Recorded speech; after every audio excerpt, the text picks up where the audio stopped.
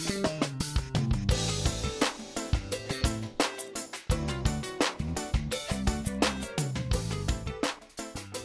ีค่ะพบกันอีกแล้วคลิปที่สามยังอยู่ในเรื่องของการวอร์มลมเหมือนเดิมนะคะ ก็อันแรกเราดื่มน้ำทิพย์กันไปแล้ว อันที่สองเราก็สูสี่ปล่อยแปดอือฮึอ่าพอมาคลิปนี้ คลิปที่สองคลิปนั้นจะเป็นในเรื่องของการฝึกcontrol ลมฝึก basicครับ basic อ่าเบื้องต้น ปริมาณของลม ทีนี้คลิปนี้จะเป็นในเรื่องของการฝึกระดับความเร็วของลมหรือ speed ของลมนั่นเองเครื่องอะไรครับเปลี่ยนลมฝึก speed ไปทำไมครับ ลมอ่าเราเหมือนแบบเวลาเราเป่าแซกแต่ละตัวแต่ละโน้ตอะไรเงี้ยค่ะ เราอาจจะใช้ speed ลมที่ไม่เท่ากัน ในเสียงสูงสูงๆเราจะต้องใช้ speed ลมที่แรง หลายคนเข้าใจว่าเป่าเสียงสูงจะต้องแรบีง บปากคือแรงหรือเร็วหรือแรงคือแรงหรือว่ามันมันต้องอ่าเร็วเร็วอะเร็วต้องเร็ว เร็วไม่ได้แรงใช่ไหม อ่าถามว่าแรงด้วยไหม แรงในระดับหนึ่งเพราะยังไงถ้าเร็วมันก็ต้องแรง อ๋อโอเคแต่คว่ารับไม่ได้แบบว่าแรงแบบถ้าเทียบกับตัวต่างๆจะไม่ได้แรงขนาดนั้นอ่าหลายๆคนอาจจะเข้าใจว่าแบบเป่าเสียงสูงใช้วิธีบีบปากแต่ลมยังเป่าเท่าเดิมทุกตัวอะไรเงี้ยซึ่งตรงนี้ก็ผิดเหมือนกันเพราะว่าเป่าแสกจะไม่บีบปากเลยจะใช้ลมใช้ใช่ไหมเป็นครับลมช่วยอย่างเดียวฉะนั้นแบบฝึกหัดนี้อ่าแล้วปากนี่คือยังไงแค่เราเข้าไปเฉยอ่าก็จะต้องคอนโทรลเอาไว้เฉยๆ ๆโอเคครับ ค่ะ ต้องไม่บีบปากเท่านั้นเองอะทีนี้ในเรื่องของแบบฝึกหัดเนี่ยเราจะแบ่งลมเป็นสามระดับด้วยกันครับอ่าก็จะมีระดับแรกคือระดับที่เบาสุดจะเป็นลมธรรมดาลมไงครับลมธรรมดาคือลมลมแบบ ที่เราเป่าลผ่านมานะใช่ไหมธครรับรมดาทั่วๆไประดับอ่าสองก็จะเป็นระดับกลางๆที่เร็วแบบเร็วขึ้นมานิดนึงกลางๆละกันนะผมงงว่าเร็วขึ้นมานิดนึงคือเร็วยังไงครับไม่เข้าใจ เดี๋ยวเราจะมีแบบฝึกหัดให้อ๋อทำโอเคให้ลองดูแต่นี่อธิบายกันนะคะ ก็แบบที่สามก็จะเป็นแบบสุดท้ายที่ลมเร็วสุด แล้วก็อาจจะมีด้วยในความของแรงสุดอ่าทีนี้สามระดับถ้าให้ฝึกเฉยๆคงจะงงครับงั้นเราจะมีแบบให้ลองทำดูแบบแรกเลย เคยพับกระดาษพับเคจรยวครัดบเคยครับผมเคยต้องครับเล่นบ่อยๆแน่เลยอ่าเวลาเราปาเครื่องบินกระดาษจรวดของเราเนี่ย เราเคยเห็นเวลาเราปาไปแล้วมันเป็น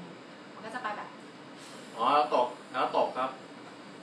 ผมปาไปแล้วตกตลอดเลยอ๋อแสดงว่าคุณพับไม่เป็น อ่าสำหรับสำหรับคนที่พับเป็นแล้วกัน โอเค แล้วก็จะ เวลาเราปาไปก็จะ อ่าไหนลองทำดูสิคะ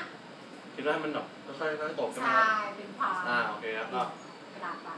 ยืนท่ายืนอ๋อโอเคครับถ้ายืนเหมือนเดิมนะครับ ยืนอย่างนี้นะครับ ต้องยืนยืนอ่าอันนี้เลขขานิดนึงนะเลขครับขาทำว่าเราอย่างนี้จะนะครับไปที่ไหนจินตนาการตามคิดว่าะคะเป็นอ่า รถของน้องเคงโงกเอากระดาษของน้องเคงโงกไม่รู้จักเคงโงกคือน้องที่เขาขับเครื่องบินเล่นเล่นๆกันนะครับ อ๋อที่ชิงแชมป์เครื่องบินนะครับ อ๋อค่ะไม่เคยดูคุณเป็นไม่เคยดูนะครับค่ะอ่าค่ะเอามานี้นะครับอาจจะอ่าคิดว่าเป็นเครื่องบินใช่ไหมครับกระดาษใช่อ่าครับแล้วปาไปค่ะโอ้อ่านี่เหรอครับ ประมาณนี้ค่ะ แต่ถ้าคุณไม่ไหวแล้ว อ๋ออันนี้ อ๋อ นักเรียนของเราขอท่าแบบอะนี้เลย ก็ ยืนนิ่งแล้วก็ปาอ่าประมาณนี้นะคะ แบบแรกสังเกตได้ว่าลมเราให้เหมือนกระดาษที่มันลอยไปแล้วกันโอ้ไม่เข้าใจเอาขออีกทีครับอ่าผมอ่าเหมือนนี่กนะระดาษที่มันลอยไปตามลมคือเหมือนได้ว่า คือลมมันจะแบบคุณช่วยจินตนาการตามหน่อยนะคะคุณอยากนึกถึงกระดาษที่คุณพับแล้วมันตกลงเลยเดี๋ยวอ๋อโอเคครับแล้วให้มันต้องลอยครับ อ่า อ่าอย่างนี้นั้นอ่าแล้วเราก็แบบ คิดว่าแบบเราก็มองมองตามมันเป็นบินไปเรื่อยๆประมาณนี้ใช่ไหมครับหรือเราอาจจะพับจริงแล้วเล่นจริงเลยก็ได้อ่าก็ได้ครับอ่านี่คือแบบแรกนะคะลองฝึกดูอาจจะงงกันนักเรียนเรานิดหนึ่งอ่าทีนี้ไปดูแบบที่สองกันแบบที่สองก็คือระดับสปีดลมที่ปานกลางขึ้นมาอืมอ่าบ้านใครมีกระดานลูกดอกป่าลูกดอกนะคะหรือเป็นลูกดปอกลาครับลูกโป่งตามแล้วแนตรงวงานวัวัดดนะครับอ่าก็จะเป็นให้เรานึกถึงว่าเรากำลังจะปาลูกดอก ให้มันเข้าแป้นนะครับ มันโป๊ะอ่าทีนี้ในเรื่องของดอกเราสังเกตว่าน้ำหนักของตัวลูกดอก มันจะมีน้ำหนักที่เยอะกว่าเครื่องบินกระดาษนะฉะครันั้บนสปีดของเวลาที่เราจะปล่อยมันออกไป มันจะต้องเร็วขึ้นถูกไหมครับผม คะทีนี้ท่าของเราจะไม่ยืนเฉยๆละอ่าเหมือนเราปาลูกดอกเราจะต้องก้าวเท้าซ้ายไปอ่าข้างผมผมอ่านท่าถูกแดงเลยต้องอย่าอ่าอย่างนี้ครับท่านะค่ะเอาท้ายอยู่แล้วก็ ข้างหน้านะครับ มือค่ะ เล็งไปข้างหน้า เล็งแบบคนที่เราเกลียดทั้งหนึ่งคนนะให้หูแดงนะค่ะเล็งครับอ่าเล็งไว้เล็อย่างงนี้ไว้นะนะครัคะบแล้วก็ หายใจเข้าตอนเรา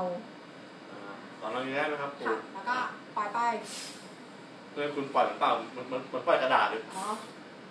ลูกดอกลูกดอกลูกดอกลูกดอกอ่าอย่างนี้ใช่ไหมครับอ่าอ่าอย่างนี้ค่ะอ่าโอเค นิ้วชี้ด้วยก็ได้ค่ะอ่าโอเคทำได้ไหมคะไหนลองทำหน่อยสิคะอย่างนี้นะ นี่ยืนท่าให้เท่ใช่ไหมคต้รัอบงอ่านต้องยืนท่าให้เท่ค่ะทำให้ต้องจัดระเบียบร่างกาย โอ้โหแล้วก็อย่างนี้ใช่ไหมครับ ค่ะเล็งเป็นไว้ลูกดค่ะอกเล็งคิดว่ากล้องนี่คือลูกโป่งที่เราจะต้องได้ตัวไอตัวตุ๊กตุ๊กตาแน่นอ่าอนแล้วแต่คุณเลยค่ะอ่าทำไมปลาต่ำนะคะไปอ่าโอเค นี่คือแบบที่สอง นะครับ นะคะ ต่อไปแบบสุดท้ายระดับสุดท้ายเบอร์สามต้องเร็ วสุดบวกแรงสุดด้วยอ่าทีนี้เราจะยิงอะไรดีล่ะจรวดครับผมจะเออไม่ได้นั้นยังยิ่งใหญ่ไปครับจรวดนี่จะไปทั้งตัว ทีนี้ให้เรานึกถึงการยิงธนูค่ะครับยิงธนูอะยิงเป็นไหมคะไม่เป็นครับ ไม่เป็นเหมือนกันค่ะก็ไม่เป็นไรค่ะดูตามทีวีครับถ้าเรายิงยังไงใช่เราเอาแค่สมมติมาค่ะเหมือนเดิมค่ะก้าวเท้าซ้ายไปข้างหน้าเพื่อทำให้เท่อ่า แล้วทีนี้เราต้องใช้สองมือแล้วนะคะ เพราะเรามีทั้งคันธนูและอ่าลูกดอกอ่าครับผมเรามีท่าก่อนนะคะอ่าอันนี้อนะย่างคะนี้นะครับค่ะอ่าก่อนอื่นเลยก้มลงไปเอาก้มอย่างนี้นะครับค่ะหายใจเข้าค่ะ แล้วปล่อยค่ะโอ้อ่า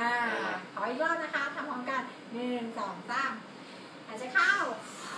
ปล่อยอ่าลองไปทำกันดูนะคะงงว่าคือเนี่ยสามอย่างเนี้ยมัน เพื่ออะไรครับสามระดับเนี่ยสเตจลมแล้วสเตจลมยังไงไม่เข้าใจ ก็อย่างที่บอกไงคะว่าช่วยในเรื่องของเวลาเราเป่า ในเรื่องของเป่าเพลง เป่าโน้ตเป่าทุกอย่างยังไง speed ลมแล้วถ้าแบบเสียงต่ำนี่เราแบบ speed ลมได้ไหมครับ เสียงตามปกติคุณเป่าต่ำแล้วคุณจะปิดอย่างไรล่ะคะไม่รู้ว่าผมเป็นนักเรียนแล้วถามอาจารย์แล้วผมก็เราเวลาเราเป่าเสียงต่ำๆเราจะใช้ ปริมาณลมที่เยอะก่อนหนึ่งเราต้องแยกในเรื่องของปริมาณลมกับ speed ลมอะปริมาณกับ ในเรื่องของความเร็วของลมนะคะครับปริมาณคือเหมือนกับว่าเราใช้ลมที่มันเยอะขึ้นอ่าแต่ speed ลมเนี่ยคือในเรื่องของความเร็วอ๋อถ้าโอเคเกิดเราครับเป่าตัวต่างๆ เราจะใช้ปริมาณลมที่เยอะอ่าราะว่าลมจะต้องไป support ในเสียงต่ำครับๆอ่าแต่ว่า speed ลมเนี่ยจะใช้ปานกลางแล้วกันครับจะไม่ได้ถึงขั้นขนาดแบบ เพราะถ้าเกิด speed ลมแบบขนาดเนี้ยฉีดซะขนาดเนี้ยเสียงที่ได้ออกมาแน่นอนเสียงจะต้องตีขึ้นครับใช่ไหมคะจากที่เราจะเป่าตัวโดต่ำอาจจะเป็นโดกลางอ่าคโดรับผมสูงหรืออะไรก็แล้วแต่ผมรู้ว่าเนี่ยอ่าส่วนในเรื่องของเสียงสูงๆเนี่ยครับเราจะใช้ในเรื่องของสปีดลมที่เร็ว แต่ปริมาณลมที่ไม่แรงเท่าเสียง คือว่าต่ำคือว่าลมน้อยกว่าเสียงต่ำแต่ว่าอ่าลมมันจะเร็วกว่าใช่ใช่ไหมครับแต่คือในเรื่องของสปีดก็คือความเร็วของลมที่มันจะเร็วขึ้นโอเคครับไอ้ลูกดอกธนูนี่คือก็คือแบบสปีดลมเร็วขึ้นใช่เพื่อเสียงสูงเลยใช่อ๋อช่วยในเรื่องนั้นโอเคครับโอเคครับเข้าใจทีแล้วครับนี้เวลาเป่าเสียงสูงเนี่ยขอเสริมนิดนึงว่า เราชอบคิดว่าเสียงสูงมันจะเพี้ยนเราก็จะเป่ากันเบาๆใช่ไหมคะซึ่งก็จะทำให้สปีดลมเราอะบางลง มน้อยๆเพราะเรามองว่าเสียงสูงอะเป่าอย่างนี้ก็ดังอยู่แล้ว ครับแต่ทีนี้ยิ่งเราไปกลัวว่ามันเพี้ยนมันก็จะยิ่งเพี้ยนนะคะ ครับก็เลยอยากให้ลองใช้สปีดลมให้ถูกต้องอย่างน้อยก็จะช่วยในเรื่องของการเป่าให้ดียิ่งขึ้นครับผมนะคะยังไงก็ฝากคลิปนี้ด้วยนะคะลองไปทำกันดู